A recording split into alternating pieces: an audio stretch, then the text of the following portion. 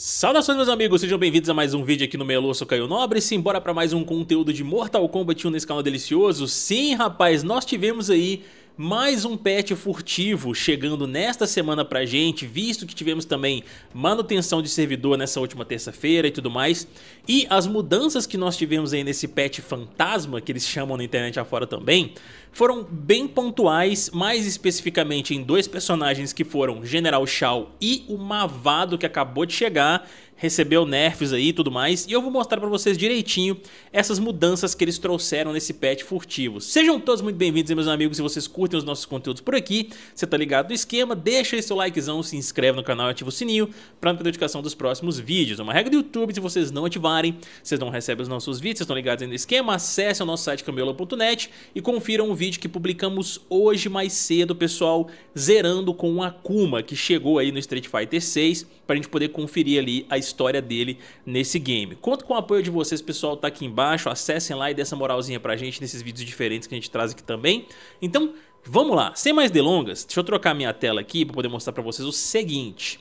Eu tô aqui com o jogo aberto pra gente poder dar uma conferida nos golpes do Mavado pra ver se tá batendo realmente com as informações que eles trouxeram lá no Patch Notes pra nós.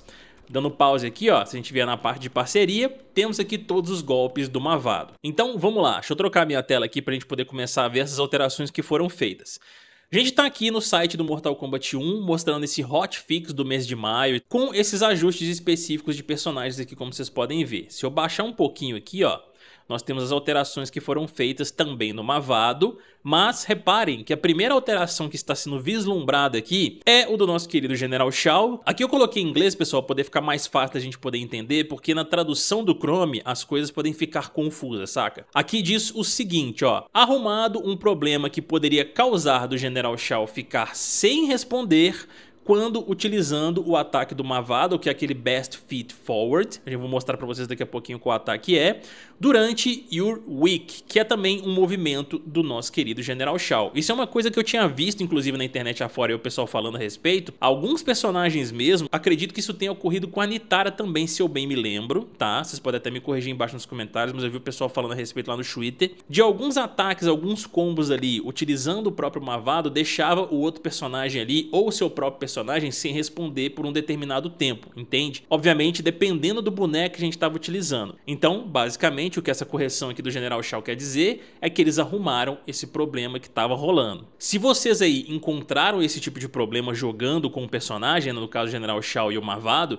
deixa aqui embaixo nos comentários se para vocês arrumou, beleza? Agora, as grandes mudanças aqui, meus amigos, ficaram por conta do nosso querido Mavado que acabou de chegar mas já sofreu aí algumas alterações ou, por assim dizer, alguns nerfs né, no personagem. Ó.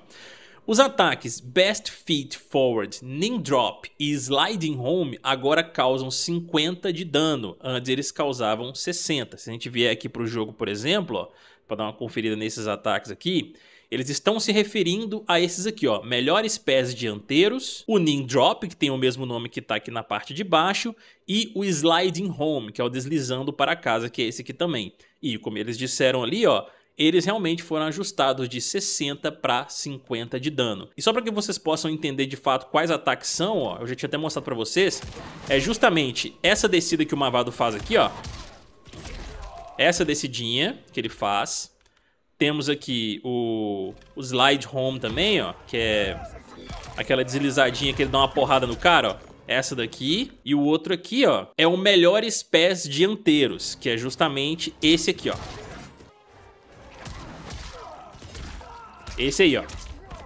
Então, esses três ataques aqui, eles foram nerfados, né, em termos de dano aí que causam pro personagem. Agora, vamos lá.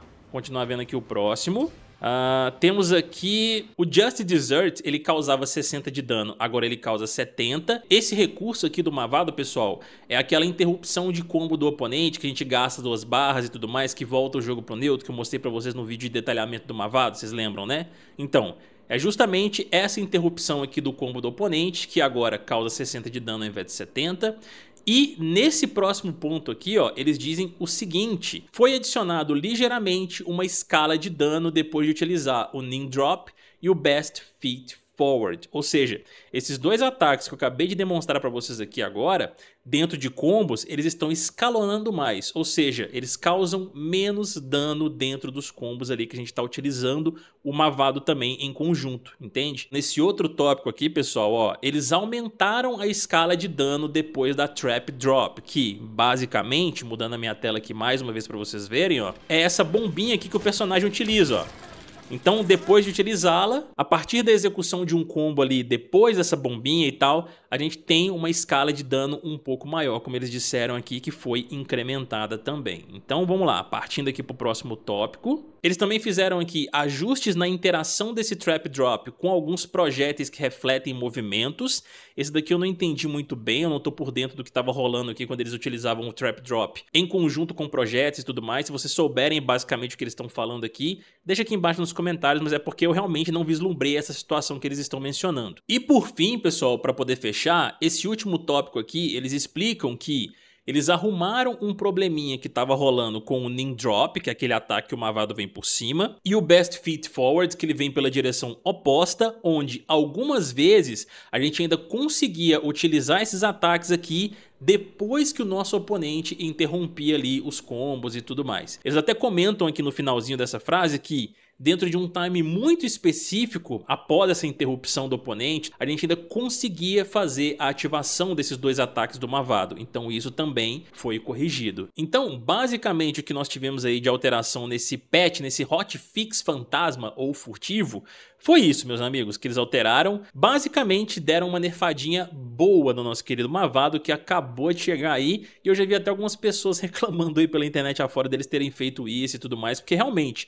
junto com alguns personagens ali, o Mavado ele tinha um potencial de combo muito grande e de dano também, né? E só um adendo aqui antes da gente finalizar, pessoal. Eu tava conversando com meu amigo Jonathan Maverick Hunter, que ajuda o pessoal lá do Combo Infinito também nos campeonatos e tudo mais, com relação a esse patch que chegou, porque ele tava comentando lá no Twitter, né, que além dessas alterações do Mavado e do General Shao que foram descritas ali, ao que tudo indica, tivemos alterações também, por exemplo, no dano da Janet, que eu vou dar até uma testada aqui na boneca depois, pois eu jogo com ela utilizando o Ermac, mas não foi documentado nesse patch. Eu vou ver isso aqui direitinho, rapaz, depois, conforme for, eu trago outro vídeo aqui explicando melhor isso aí pra vocês. Agora eu quero muito saber a opinião de vocês, pessoal, com relação a esses nerfs aí que o Mavado levou, o que, que vocês acharam, se vocês estavam sofrendo com o personagem ou até mesmo se divertindo com ele, fazendo combinações com seus personagens principais.